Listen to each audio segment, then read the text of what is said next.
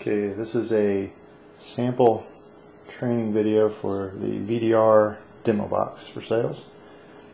Um, one thing to note about this thing is there's two connectors. One is the USB connector. The other is the power, ground, and communications cable that interfaces to the VMUX display cases via a jumper harness. It can also be used with a touchscreen Vista or other VMUX device.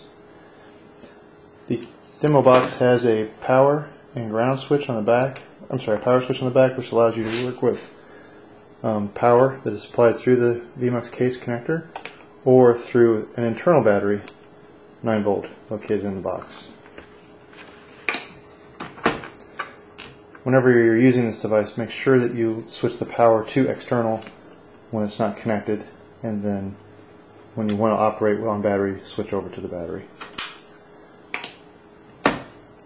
The actual VDR, which is represented by the picture, is contained within the case. The seatbelt indicator is shown here um, attached to the case. Six switches, six seat, seat positions are represented by these switches. Six seat belts are represented by the adjacent switch. There's also a park, brake input, a dimmer input, which is an analog value that feeds into the VDR, a beeper output from the seatbelt indicator for an external beeper, and also an external indicator for a light that is powered by the VDR itself.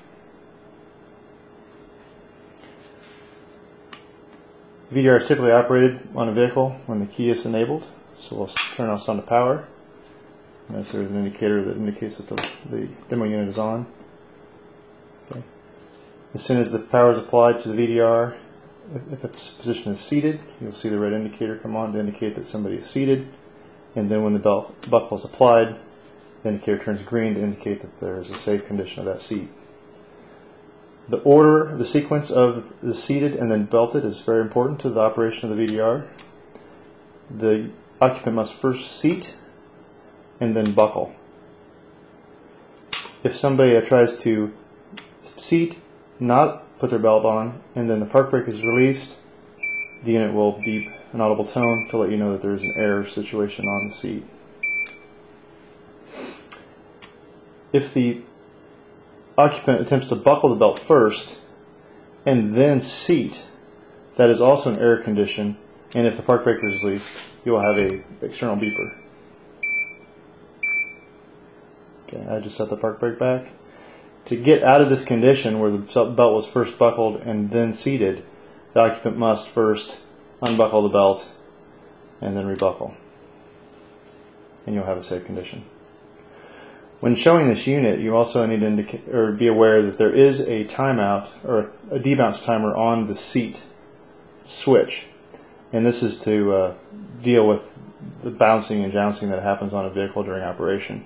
So if the occupant does temporarily come out of a seat, like on a large bump, um, you'll see that it does not immediately give you the red light. There is a timer in there that looks at the switch, and if the switch stays open for a specific amount of time, an error will be indicated. So please note that when you're demoing this box. Okay. Now you notice that as I seat and reseat, I can't get that condition fault to go away. I must unbuckle my seat and properly rebuckle. This holds true for all seats on the shown on the box, which, like I said, in this case are six. So you must first be seated and then properly buckled. To show the um, dimmability of the unit, this would typically be tied into the dimmer circuit of the vehicle, of the headlights. So as the headlights are dimmed, the indicator lights also dim. If the power is completely lost to the dimmer circuit, for example, the lights are shut off, you'll see they'll revert back to full brightness.